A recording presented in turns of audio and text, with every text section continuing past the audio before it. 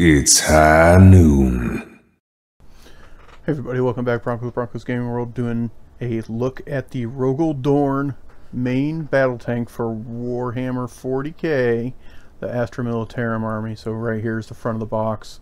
This is a big Billy badass tank. I'm super excited to get to work on it. I'm going to take a look at the back of it real quick. You get another good look at the tank itself. All the different kind of weapon combinations. This one's got the twin battle cannon. This one's got the oppressor cannon and the coaxial auto cannon. I I honestly can't tell you how excited I am to build this kit. This is kind of the uh, middle tank between the Leman battle tank and their big uh, Titanic Bane blades and shadow swords and stuff like that. So that's what the thing's going to look like. Here's the kit that we get with it. So here we've got the instruction manual. Instruction manuals like I said before in previous videos, the uh, the manuals have really, really done a good job of kind of helping you figure out how to build the model. Doesn't really, uh, it's not too complicated. This kit doesn't look too bad, and they give you some extra options for your your stuff down here on the bottom where it's like the oppressor cannon or the uh, twin link battle cannon to shows you the parts you need and if you're running any of the uh, heavy stubbers or anything like that gives you the options for that as well. And here's the actual model kit itself. This is the uh, main chassis components and the turret here. Your turret your top of the chassis top of your turret and I think this is the front of your chassis. But yeah this is the front of it. So these are all your chassis pieces and your battle cannon components these are going to be your, your side sponsons and your tracks and treads. Here you see the heavy bolter or the multi-melta here. And then you've got the actual track pieces and stuff here with this part of it. So these tracks are huge compared to any of the Leman Russ battle tanks. They're just bigger versions of them, but they're really massive. I do almost have an immediate complaint here that it doesn't look like they have them called out what track pieces fit where. Hopefully it's pretty simple because that was a big complaint I had with the old Leman Russ kits is that the track pieces weren't easy to put together. And then we've got the transfer sheet that you get with the kit as well. So there we go. Rogal Dorn Battle Tank unboxed. I'm going to get this bitch put together and I'll give you guys a look at it when it's all done. So here we have the complete built kit for the Rogal Dorn here. I went with the multi-Milton sponsons and I have the heavy stubber up top. I went with the heavy stubbers as well on the front weapon arrays there. Also have the smoke launchers on it.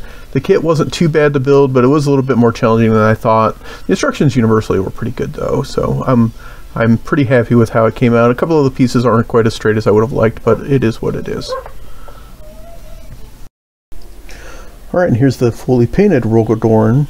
Uh, I did a undercoat of a, uh, it's a, I think it's a camo green sold by Rust-Oleum, and then I do a stippling effect on the rest of the tank just using Army Painter's green skin color, and then I do a highlight with uh, the Goblin Green, and then the very edges get a highlight of a Maize Yellow Speed Paint. I don't do a whole lot of it, and then I just use like a, a, uh, a bolt gun metally kind of look for most of the weapons. I do the Nuln Oil for the wash on them. The tracks are the Army Painter Speed Paint 2.0, the uh, I think it's Broadsword Silver and then the, the decals on it just take it to the extra st extra step above. That makes the, the model just look fantastic. I'm really really happy with this one for you know an average painter. I think it looks pretty great.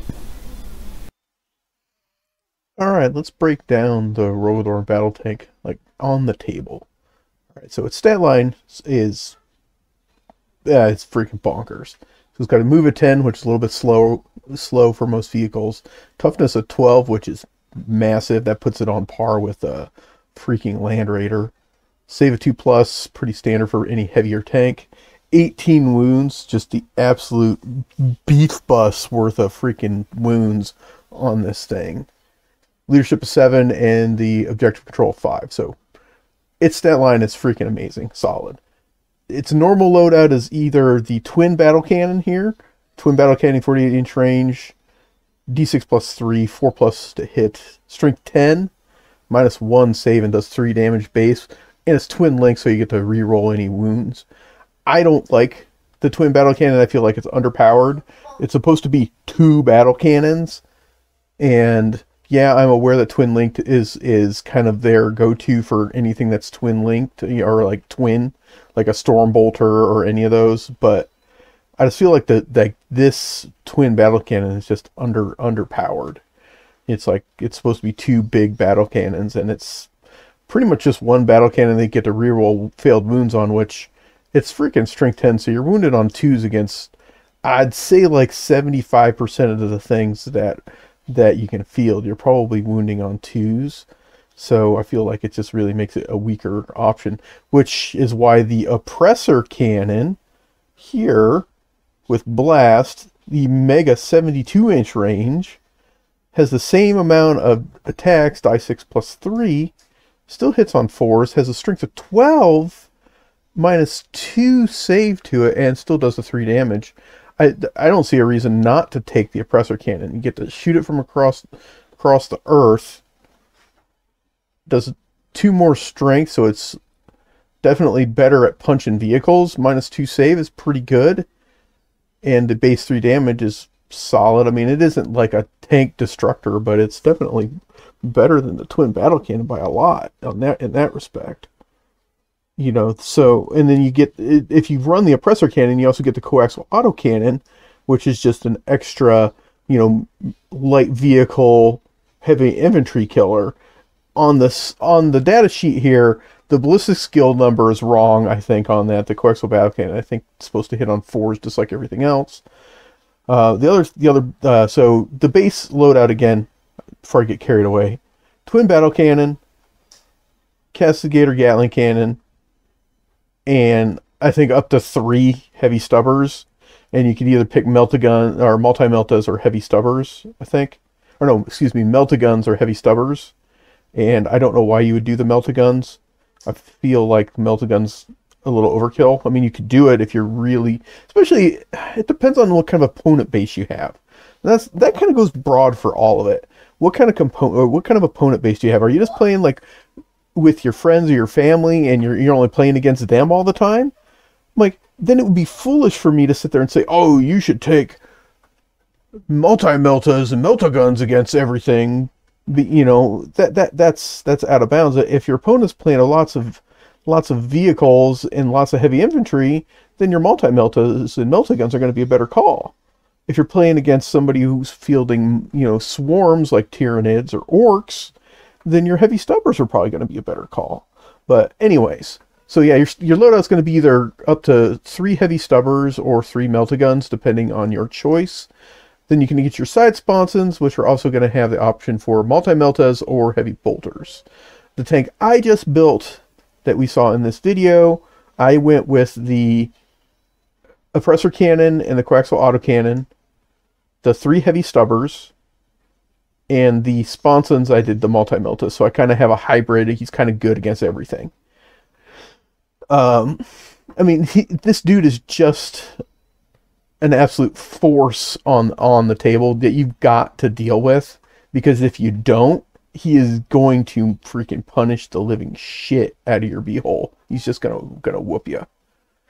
Um, then he's got uh his abilities. He's got deadly demise, die six, so if it goes, it's, it, it's going to go big. And then he's got the absolute dominant ablative plating, which, yes, it's only a once per battle, but once per battle, you get to give most likely whatever attack that, that your opponent's going to use to try to finger of death your vehicles, you can just tell them to F off and give them the middle finger. And tell them, well, you can you can hit me with that, but that attack's going to be zero damage. So you're pretty much guaranteeing that at least one of their serious anti-tank weapons is just gonna gonna shit the bed and not do anything. So that's uh that's the Rogal Dorn for you. He's he's a eh, like I said, he's an absolute freaking beef bust. He's just ridiculous. So yeah, here's your options. It says twin battle cannon can be replaced with the oppressor cannon and coaxial autocannon. Yes, please. Uh, the model's Castigator Gatling Cannon can be replaced with the Pulverizer Cannon. So let's visit that real quick. So the Pulverizer Cannon, Pulverizer Cannon, a 24 inch range, die 6 attacks, still hits on force because it's guard. You can do things to to to buff that with orders and stratagems, but base attack of 4, strength 9, AP minus 3, and does 3 damage. The Pulverizer Cannon is pretty freaking good. It's again good against you know medium and light vehicles. It'll it'll wound rhinos and razorbacks and some of the other marine type vehicles on fours. It'll do I think dreadnought most dreadnoughts are, are toughness nine, so they'll do them on fours.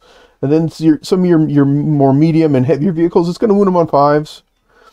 Which at that stage you're kind of out of bounds. Anything if you're wounded on fives, you really got to question whether it's worth it. Now the pulverizer cannon too is a blast weapon. It hits like an absolute anvil against infantry units because that minus three, it that pushes even Terminators to where they're using their invulnerable save. Well, I mean it's even up, so it's a five plus either way. But you're you're pushing them to the brink of needing to use their invulnerable save. You know, your your Marines at a three plus are needing sixes here you know, your best armored troops against the pulverizer cannon are taking a beating and they're dying. I mean, this thing's going to outright kill you. know, Terminators are dying to the pulverizer cannon on on a failed save here. They're they're not just taking wounds; they're dying with the three damage. So I like the pulverizer cannon uh, absolutely a lot, and I, I I honestly I put the Castigator Gatling cannon on my tank like I put it on there on the model. I do not care if somebody wants to go, hey, I want to use the pulverizer cannon this time. I'm like, okay, cool. I'm like, it doesn't like WYSIWYG is is great and all, and I'm more power to you, but man, that means that you better optimize the living shit out of your model builds when you're building them, and don't just go for what looks cool or or you better have a bottomless pit of funding because you want to be able to build a model with all the options. You know they they've that I don't I don't care if you tell me hey this as long as you have the actual model I don't really care if you if you say hey I'm using this configuration this time. Hey I'm using this configuration this time. Say hey I want to use the pulverizer cannon this time. Okay cool go ahead whatever. It's not that complicated. I mean honest to God it's not. So I built mine with the Castigator Gatling cannon because I think the Castigator Gatling cannon looks freaking cool as hell. And uh, I think it's still pretty effective on the table. I mean, crying out 12 attacks, strength 5, does damage. No AP, but you're throwing a bazillion shots down the wind. You know, on the best roll, the Pulverizer cannon is getting six six attacks at, at best. The range is the same. Strength 5, still wounded on 3s against most infantry units, which is what it's targeted for. So, man, I think it's still pretty good. But there you go, guys. Rogal Dorn thing's freaking badass. Let's uh take a real quick look before we before we sign off here. Uh, the model can be equipped with one of the following: two melta guns or two additional heavy stubbers. Those are uh, those are the ones that are hanging out in the front, and then you can also be equipped with one of the following on the sponsons: two heavy bolters or two multi meltas. So its base is the Castigator uh, Gatling cannon, the heavy stubber, the twin battle cannon and armored tracks. Always they always have armored tracks. You only get one. You can't put, put these guys into a squadron or anything like that. But the downside to him is, is I don't know if this guy is worth the massive points payload that uh, you have to pay for him. I've never played with him on the table. I know that he looks like a freaking Billy Badass though, but his points cost of 285 that's a that's heavy. That's a lot. Your Leman Russ battle tanks are running buck 95. This guy's running almost 100 points more more to, more than him. I'm not sure if he's 100 worth 100 points more. The extra wounds is are nice. The extra toughness is good. I mean, his weapon loadout is is good against vehicles, monsters, and against infantry. Man, that's a tough call.